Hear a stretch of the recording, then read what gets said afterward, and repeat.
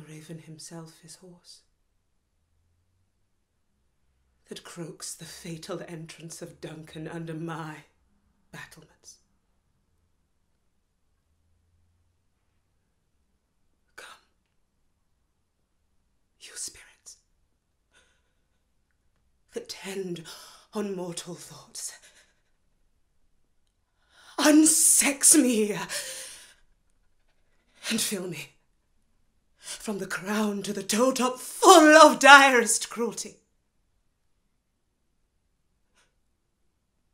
Make thick my blood. Stop up the access and passage to remorse, that no compunctious visitings of nature shake my fell purpose nor keep peace between the effect and it.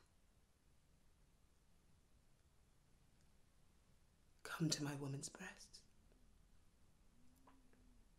And take my milk for gall, you murdering ministers, wherever in your sightless substances you wait on nature's mischief. Come,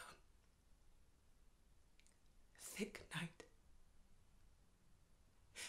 and pull thee in the dunnest smoke of hell, that my keen knife see not the wound it makes, nor heaven peep through the blanket of the dark to cry, Hold! Hold!